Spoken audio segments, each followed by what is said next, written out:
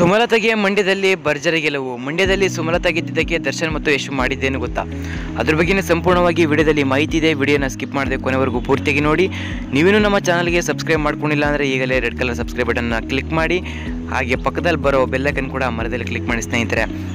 ಹೌದು, ಮಂಡ್ಯ ಕ್ಷೇತ್ರದಲ್ಲಿ ಸುಮಲತಾ ಅವರು ಒಂದು ಲಕ್ಷಗಳ ಮತರ, ಮತಗಳ ಅಂತರದಿಂದ ಜಯ ಗಳಿಸಿದ್ದಾರೆ. ಈ ವಿಷಯ ತಿಳಿದ ತಕ್ಷಣ ದರ್ಶನ್ ಮತ್ತು ಯಶ್ ಮಂಡ್ಯ ಜನತೆಗೆ ಶುಭಾಶಯವನ್ನು ತಿಳಿಸಿದ್ದಾರೆ. ಸ್ವಾಭಿಮಾನವಿರದ ಎಲ್ಲ ನನ್ನ ಮಂಡ್ಯ ಜನರಿಗೂ ನನ್ನ ಶುಭಾಶಯಗಳೆಂದು ದರ್ಶನ್ ಅವರು ಹೇಳಿದ್ದಾರೆ. ಇದರ ಜೊತೆಗೆ ಯಶ್ ಮತ್ತು ದರ್ಶನ್ ಅಭಿಮಾನಗಳ ಸಂತೋಷ ಮುಗಿಲು ಮುಟ್ಟಿದೆ. ಎಲ್ಲದಕ್ಕಿಂತ ಮುಖ್ಯವಾಗಿ ಭರ್ಜರಿ ಜಯ ಗಳಿಸಿದ್ದಾರೆ ಅಂತಲೇ ಹೇಳ್ಬೋದು. ಸರ್ಕಾರವನ್ನು ಎದುರು ಹಾಕಿಕೊಂಡು ಒಂದು ಹೆಣ್ಣು ಪಕ್ಷೇತರವಾಗಿ ನಿಂತು ಗೆದ್ದಿರುವುದು ಇದೇ ಮೊದಲು ಅಂತಲೇ ಹೇಳ್ಬೋದು. ಸುಮಲತಾ ಗೆದ್ದ ನಂತರ ನಿಖಿಲ್ ವಿರುದ್ಧವಾಗಿ ಸೋಷಿಯಲ್ ಮೀಡಿಯಾಗಳಲ್ಲಿ ಫನ್ನಿ ಫೋಟೋ ಎಡಿಟ್ ಮಾಡಿ ಬಿಡ್ತಿದ್ದಾರೆ.